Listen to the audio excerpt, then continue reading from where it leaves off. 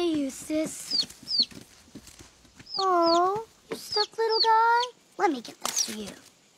You're free. Hello, move.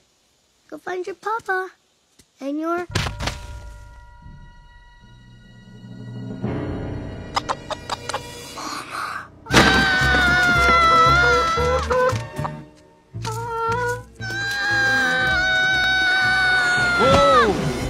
River's not something to mess around with there, Arlo. Be careful.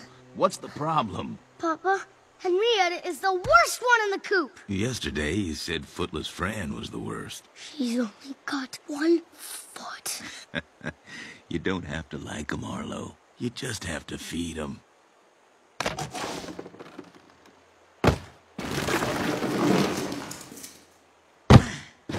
That should do it.